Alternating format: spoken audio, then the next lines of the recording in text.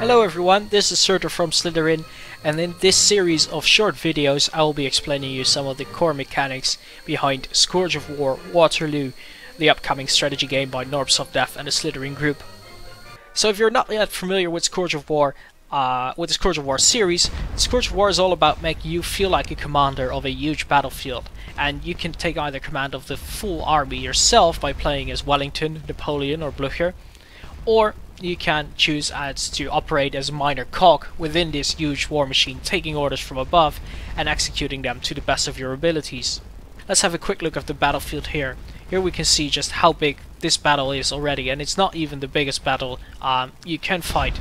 Um, this is a corps level battle, whereas the army level battles, of course, have several corps in them, um, so they can be much, much bigger.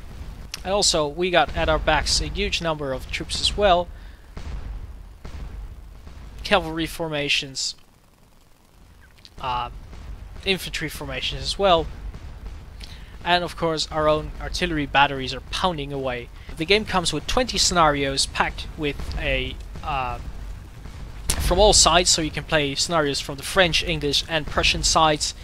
Uh, in addition, the game comes with a sandbox generator, so you can uh, generate your own skirmishes on the fly very quickly on every uh, level of command or any size you would prefer.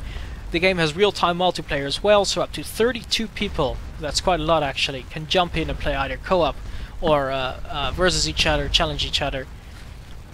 And on top of that, for the first time in the series, Scourge of War comes with the campaign layer. Um, so a uh, strategic layer in order to uh, link all your sandbox skirmishes together. So that's it for, uh, for the first episode for today. Thank you very much for watching and have fun with the game.